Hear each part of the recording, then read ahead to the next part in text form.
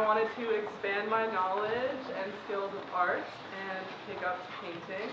Painting is something that, as a Waldorf student, you know, you always kind of do, but it's always more watercolor. And I had played a little bit around with acrylic paint, which was what I was originally going to do. I wanted to make a large mural with acrylic paint, but my idea slowly ch uh, changed into a canvas. Um, a big passion of mine is rowing, as a lot of people probably know. um, for the past year and a half, about, I have been going to practice every single day, and for weeks and for hours every week, I've been rowing. Um, and I somehow wanted to pay tribute to my rowing in my senior project. Once I knew that I wanted to paint, the first question I asked myself, of course, was, well, what am I going to paint? Since I wanted to create one large painting like this, rather than a few small ones, I wanted it to be something that was really important to me. I chose to recreate an image from one of my first races, so yes, I am in my own painting. um, this race was a huge turning point for me. I'd only been rowing for a few weeks when my coach approached me and asked me, or told me, that she wanted me to be in this boat that would race at this international regatta that was very competitive. Um, I was very honored and excited, and of course I was nervous because I felt like I really didn't even know what I was doing yet. And she was already saying, go, you can do it, I know you can, um, which made me feel very inspired. Um, the training leading into this race was something that I had never experienced before, both physically and mentally. It was one of the hardest things I have ever done. But it has definitely helped pave the way for me, both mentally and physically. I there's pictures of me from when I first started rowing and then after this race, and it's incredible to see how my body changed muscly and how mentally how I carried myself. I met with my mentor for the first time over the summer. Uh, as I said before, I originally wanted to use acrylic paint, but she of gone back into oil painting, and she wanted us to kind of take that adventure together and wanted me to do something, use a medium that I had never used before.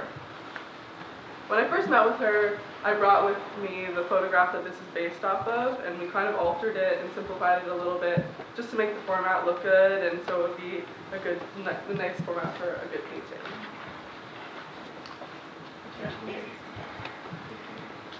Next, my mentor and I discussed materials and colors and paint, and I learned different things about different brushes and how to use them, and what colors I should buy and what colors I should always mix myself. I took an adventure to the art supply store where I picked out all my materials, and this was kind of the first time that I'd ever picked out materials for a big project like this. I always kind of went around my house and got the materials that I had laying around, just make whatever. This is a, I began drafting my uh, canvas once I had all the materials, and this part was very tedious for me because all I wanted to do was paint my senior project was painting. I didn't want to be wrapping. um, but it was definitely a very important part. Um, there was a few times where I messed up, and things got off, or my hand, I would look down and my arm was covered in pencil and it was smudged all over. But I finally got the hang of it, and I finished my graph. Um, and then once I finished my graph, I could start mixing my colors, making a color palette for my painting. I wanted to make a distinction between the foreground and the background of my painting. Um, so we did that through color, and then we also decided that so I could practice different techniques. The rowers would be more detailed, and then the background would be more of a gesture. Since I wanted to, the rowers to be the focal point, I actually started with the rowers. Um,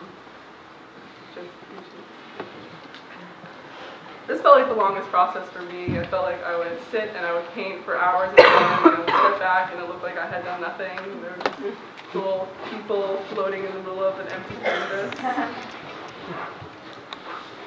I was excited to take a realistic approach because realism is something that I've always wanted to be good at, but I was a little afraid of it because I felt like it would never look how I wanted it to look. Um, but I was very excited and very happy with how it turned out after weeks and months.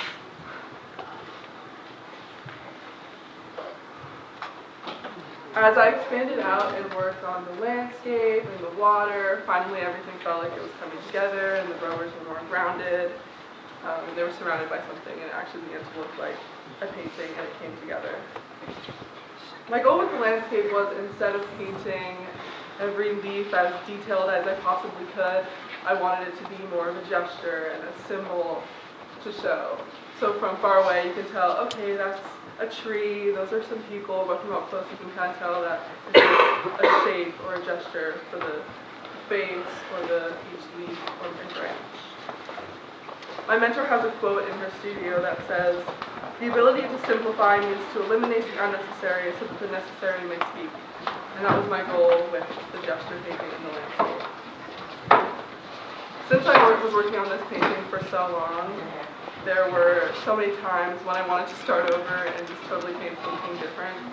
Because um, I got tired of looking at it and wasn't happy with it and I really just had to step back, maybe take a few days off and look and see that this was just a learning experiment and it's, just an experience for me. I faced one of my biggest struggles when I began painting the water. I never painted water before, and like realism, it was something that I just totally avoided because it scared me. Um, as much as my mentor told me and showed me how to do the water, it just didn't come to life, and it looked so stiff and awkward, and I just was really unhappy with how it looked.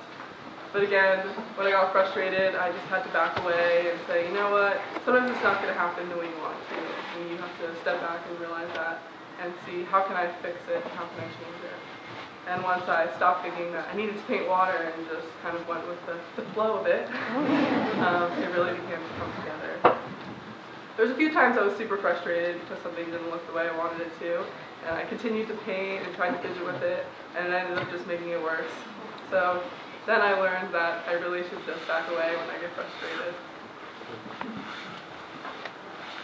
And the weeks after, I finished my up the landscape and the water, and my painting was finally completed.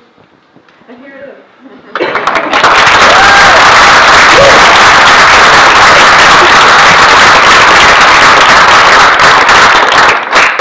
My goal of doing this painting as my senior project was not only to learn more about painting, but to create a balance in my life. If you know me, you know that I'm always going to practice.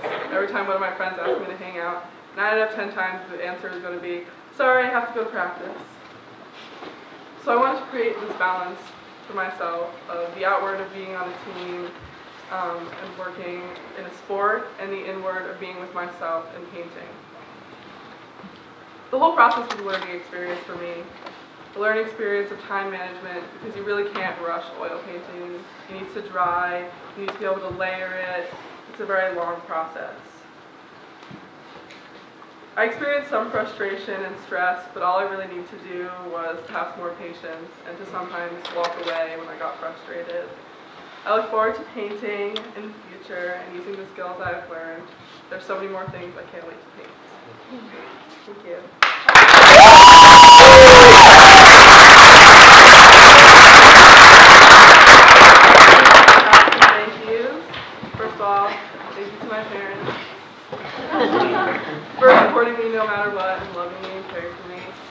Especially felt that this year. Thank you.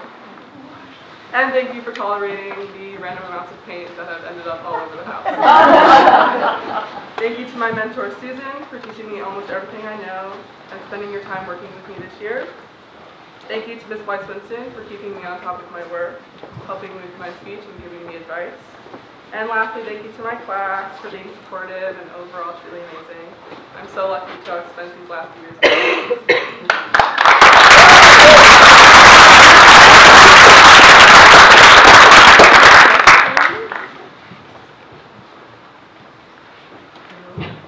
practice tonight? uh, do you have a different relationship with water now that you did and you wrote? Um, I guess so. I feel like I realize how complicated it is. and beautiful. Thank you. Any more questions? Yes.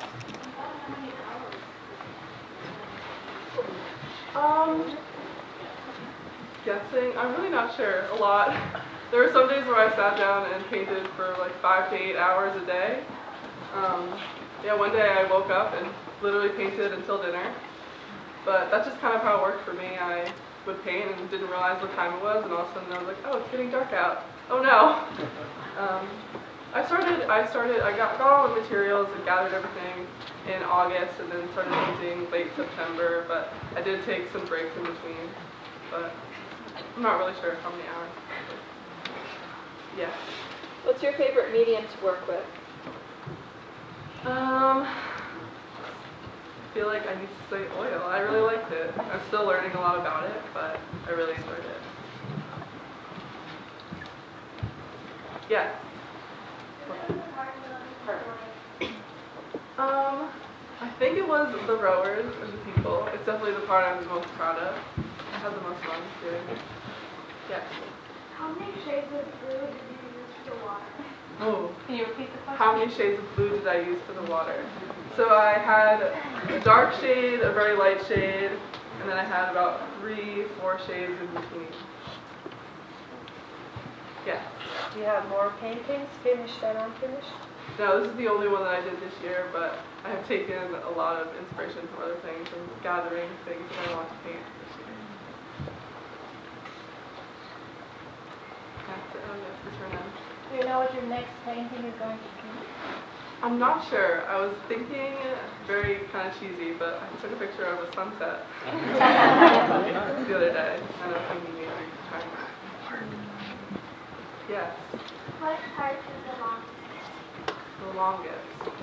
Um, probably because I kept giving up the water, but the hours that I actually worked on, I would say, was the people and the boat. Yes. Um, which part of the painting was most difficult? the most difficult? Um, probably again the people. it took the longest time for me, and I wanted it to be as realistic as possible.